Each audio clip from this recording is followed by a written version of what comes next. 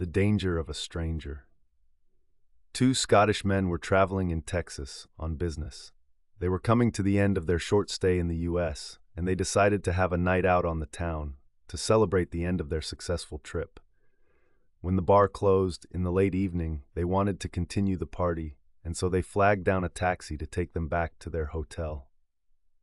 Being in unfamiliar territory, they became a bit paranoid thinking that they were maybe being driven in the wrong direction, and so they asked the driver to stop.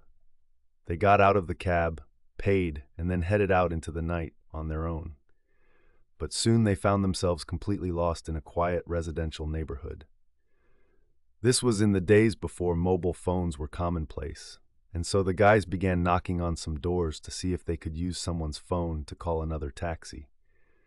Having no success, they ventured into a back garden to try to get the residents' attention.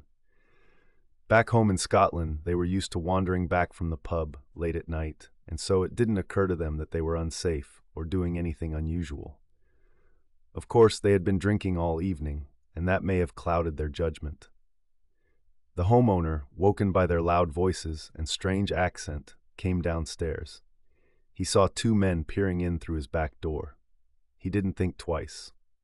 He fired at them with his shotgun, killing them both outright.